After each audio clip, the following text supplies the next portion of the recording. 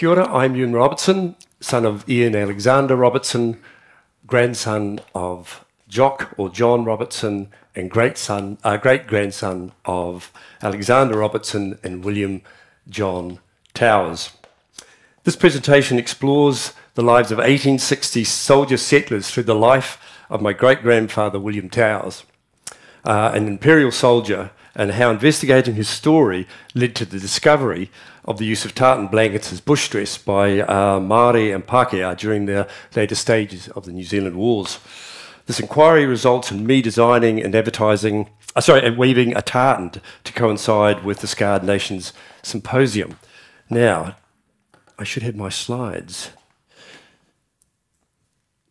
Nope, must be this way. Yes, perfect. Okay.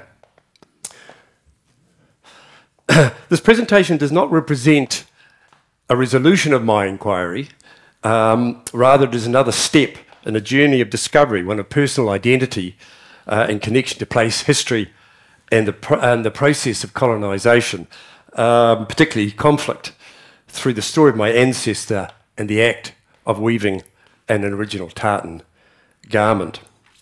I'm no historian. So I apologize in advance for any inaccuracies. I'm also slightly overawed by the, the acumen, the academic acumen here, so um, I will do my best. Um, so, who was William Towers and what was his connection to this narrative? Little is known of William until he enlisted in the 70th Regiment of Foot, or the, what's called the Glasgow Greys, in 1853, aged 21. Uh, the regiment was formed in 1756 and fought in many global conflicts, including the American Revolution, the French Revolution Wars, India, and obviously New Zealand. William fought in the 1857 59 Indian military mutiny, where Indian troops rebelled against their British commanders.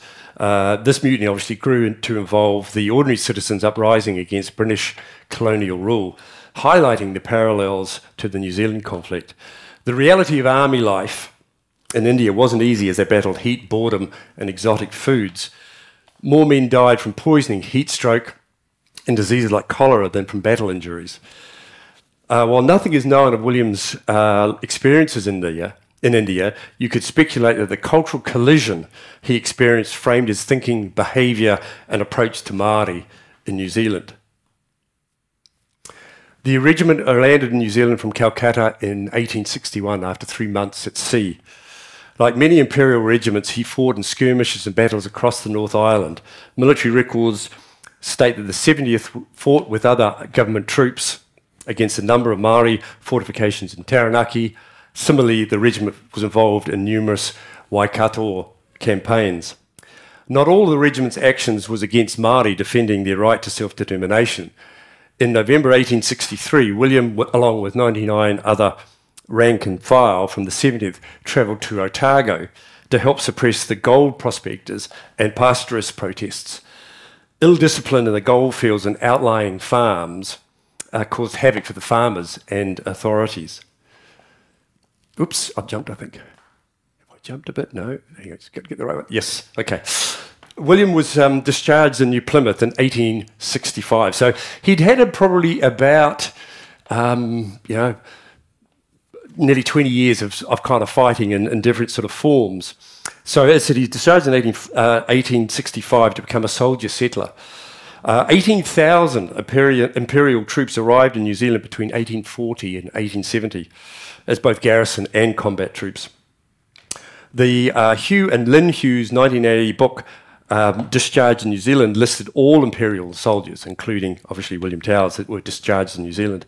A total of 280 soldiers and officers from the 70th Regiment, alongside a further 3,661 rank and file and non commissioned officers from the other 14 regiments discharged in New Zealand. Oops. Like many soldiers, the incentive to discharge in New Zealand uh, was the opportunity to take up small land grants, um, occupying land confiscated from Māori. The, the Waste Land Settlement Act converted traditional communal land into individual titles that allowed settlers to purchase uh, from the Crown. The land was to be developed to benefit the new settlers, their communities, and obviously ultimately the Crown. William moved to Thames in 1865. Uh, but the land assigned to him for farming was not fit for purpose, being too hilly and too, uh, too rocky. He resorted to mining the land for gold with little success. Uh, he requested alternative claims from the, Navy, the Naval and Military Land Commission, but was again unsuccessful. Little is known about William after he settled in, in Parawai, obviously also in Thames. He died there in 1906. Uh, in his master's thesis, Soldiers and Settlers, John McLennan explored the challenges faced by early soldier settlers in New Zealand. As imperial soldiers were tasked with upholding British Empire interests, they became an instrument in Maori land alienation. Uh, as settlers, they then populated confiscated land, becoming an inexpensive means of embedding and, in, um, and expanding uh, empire interests. McLennan states that land was a keystone British objective. Discharged soldiers were also a cheaper option than settlers on assisted passage. Discharged soldiers were attracted to the Crown because of their hands on skills, perseverance, and the hard grafting in difficult conditions after many years in the army. These attributes were valued by their communities and provincial councils, uh, and they were needed to, to, to yield uh, productive land, skills sometimes lacking in civilian settlers. Their military expertise were also needed to quell so-called rebel Māori imperial, as imperial soldiers left the colony in the late 1860s. The parallels of uh, alienation from ancestral lands would not have been lost um, on Scots soldiers as large swathes of clan lands were confiscated as a result of the failed Jacobite rebellion, especially the aftermath of the Battle of Culloden on Drummossie Moor in, in 1746. The rebellion sought to remove the Hanoverian king George II, putting the rightful king uh, Charles Edward Stuart on the throne. clan lands uh, sorry, Scottish clan land, like Maori land, held ancestral and spiritual connections to both that were both complex and highly valued. Significant tenant uh, evacuations during the Highland clearances, uh, 1740 to 1860, resulted in many Scots uh, communities being forced to relocate to unfamiliar, unfamiliar coastal regions, barely surviving on fishing and the collection of kelp to generate income. The shift from farm to croft, that's just a small pocket-sized uh, rented plot of arable land, was a bitter pill to swallow. Croft overcrowding uh, then led to mass migration to the colonies. Interestingly, the uh, English landowners and uh, the English educated clan chiefs believed there was more profit from grazing sheep than that generated from tenant farmers. The 1746 Act, Act of Proscription in Scotland, a response to the Jacobite uprising, sought to suppress and assimilate the Highland clan system and culture into English Enlightenment. Clan chief authority was removed. Judicial districts or sheriffdoms were forfeit to the Crown. Highland dress, tartan, and bagpipes. In effect, their traditional way of life and identity were banned. Joining the British Army was the only way many uh, Scotsmen could legitimately wear tartan and kilts. Mass migration of Scots meant that tartan played a valued role in defining their identity, maintaining individual and collective um, distinctiveness. It could be argued that tartan was symbolic of both oppression and rebellion. Danny uh, Pickering's 2022 article, Harm Received, Harm Caused, explores, explores the dilemma some Scottish settlers face in New Zealand through the diary records of her great, great, great grandfather, Neil MacLeod. He migrated from his dis dis dispossessed ancestral home of Raasay, it's, it's, an island in the Outer Hebrides in Scotland, in 1864. Uh, unexpected revelations appeared in, in MacLeod's diaries the anticipated philosophical conflict of a former colonised person becoming a coloniser through contributing to and benefiting from dispossessed Māori was not what materialised. The expected empathy with Māori, also seeking their independence from the British Crown, was not evident. Economic opportunities, increasing personal wealth, therefore privilege, came to the fore. Further diary entries raised another revelation that of a racial prejudice amongst sundry Scots settlers. MacLeod did not see Māori as his equal. Anti black stereotypes and ideologies were used to marginalise Māori.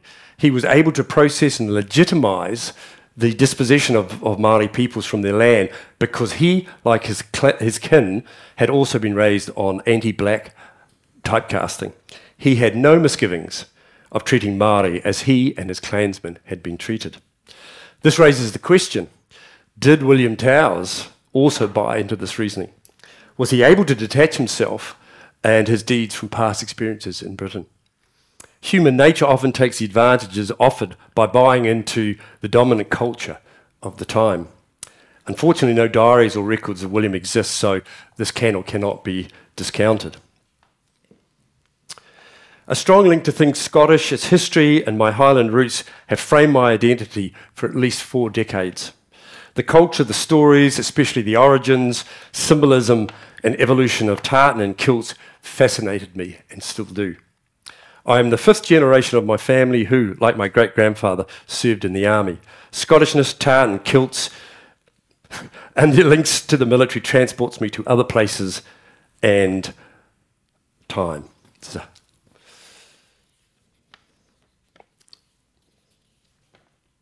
William's story was, uh, was basically just an interest as a genealogical um, project it became an engaging strand connecting another research project exploring the use of tartan blankets worn by both, as sorry, tartan blankets worn as kilts by both Māori and Pākehā militia. It was this link that sparked a number of conundrums and possibilities. On the discovery of a photograph showing a militia unit in their bush uniforms, including tartan kilts, intrigued me, other photos of malicious stories regarding the wearing of tartan were uncovered, acting as a segue into the tartan project. Uh, various militia troops and Māori wore tartan blanks in kilt configuration instead of traditional uh, pia, uh, rapata or trousers. Research available into the adaptation of tartan blankets into kilts by Māori and militia, including the Armed Constabulary, has been very sketchy. The kilts, termed as bush shawls or bush dress, appeared in the late 1860s when the militia units were formed to protect Pākehā communities and property as imperial so troops started departing New Zealand. Research suggests that these fringed tartan garments uh, were utilised by Maori from blankets plundered from soldiers or from blankets traded uh, for land. Research suggests that tartan blankets were often worn as shawls by Maori of mana, so as a symbol of status. As British uniforms often rotted and tore in the wet bush, the kilt serves a pragmatic and warm solution. The parallels experiences, um, sorry, this parallels experiences of kilts worn in the Scottish Highlands. The wool and early um, fabric on early tartans used natural and added oils to help repel water. The forest rangers started wearing rapaki uh, skirts made from harakeke to combat the um, the effects of the bush and the swamps. Tartan blankets replaced these as they became scarce. The, this dress code was adopted by local um, militia and the armed constabulary. Whoops, what's happened there? Ah. Uh, reproducing an, uh, an early tartan blanket was a catalyst to design and weave a tartan. Early tartan blankets patterns were usually generic with no obvious resemblance to clan tartans. The basic patterns mostly featured muted and understated colours. Basic tartan patterns uh, existed 4,000 years ago. This, this one behind us, the simple patterning of the Falkirk a tartan, uh, was unearthed in Scotland um, 1800 years ago. It wasn't until the 16th century that uh, tartans evolved into what we recognise uh, today. There's many myths exist around Scottish tartans. One that still exists today back, dates back from the 1822 visit to Edinburgh by King George IV. The myth being is you could only wear a specific tartan if you had a verifiable claim to that clan. Um, clans and their subjects ha often have many tartan variations for hunting, dress, regional differences, etc. 10 to 20 tartan variations for one clan is actually not uncommon. The advantages of making large quantities of the same tartan were obvious, as many clansmen and women wore um, cloth items featuring local patterns, other clans recognised them, thus becoming identifiable as a specific clan tartan. In the 1746 Act of Proscription banning tartan resulted in many tartans being lost forever. In 1819, the notable Scottish weaving firm of Wilson and Sons had 250 tartan samples collected from all over Scotland. Only 100 of these actually had named clans to them. Um, King George the, the Fourth's visit, abetted by the renowned Scottish author Sir Walter Scott, resulted in a tartan free-for-all. Clan chiefs were requested to attend official events during the king's visit in their named clan tartans.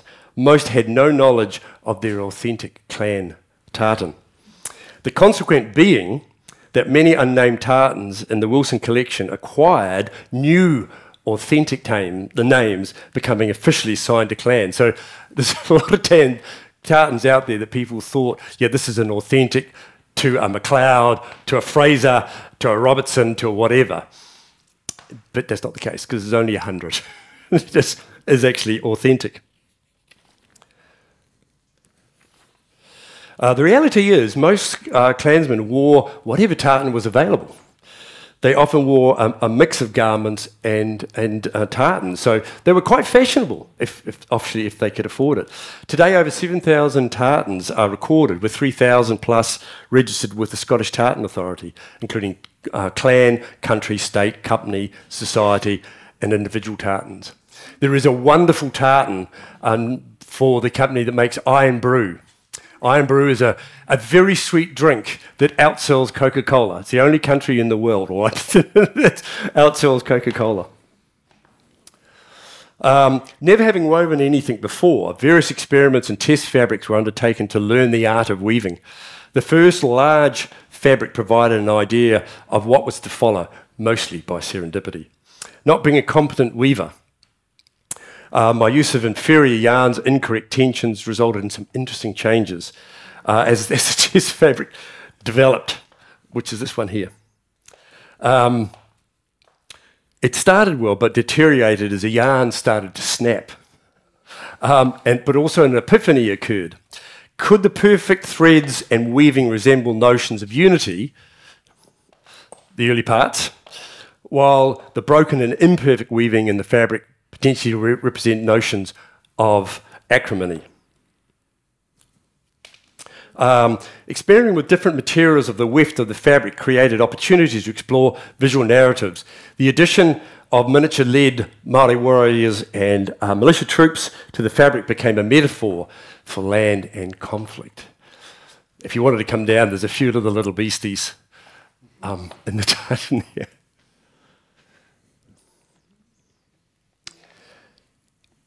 The uh, Nation Symposium sparked the idea to design a weaver tartan, a weaver tartan inspired by the New Zealand Wars. By combining colours from both sides of the conflict, could the weaving process and resultant fabric be used as a means to highlight narratives about the New Zealand Wars to an often uninformed audience? An idea occurred that the possibility of an inoffensive, everyday fabric uncovering and intertwining soldier, settler, and Maori narratives associated with tartan could be a segue to understanding their shared experiences.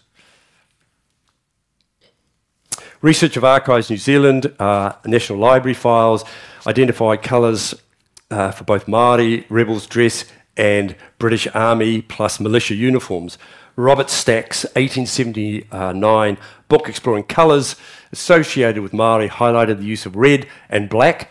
Hazel Petrie's article exploring colours of rank in Maori society examines missionary uh, Richard Taylor's 1855 book that states that red represented the mana of uh, rangatira, uh, high rank, and black represented slaves, often war captives.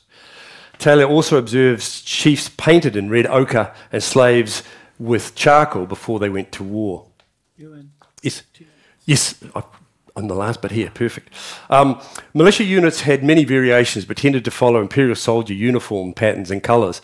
Dark blue jumpers, blue trousers, red walt, uh, blue forage cap. Some inf um, infantry volunteers adopted a grey uh, tweed. In 1867, the New Zealand government formed a new and permanent force, the Armed Constabulary, to simply and to simplify volunteer and militia systems. It was these colours that I used to try and represent and entwine shared, shared narratives and histories around accord and conflict. I began weaving the New Zealand War's tartan at Massey University before retiring to Nelson three years ago. The um, nearly completed fabric has remained unfinished, like the histories it was represented. It was designed to represent. So this is the first time it has come off the loom in four years. So I had no idea what it would look like. And looking at some of it, there's some there's really good stuff. And those of you that are good with weaving, don't look too closely. Thank you.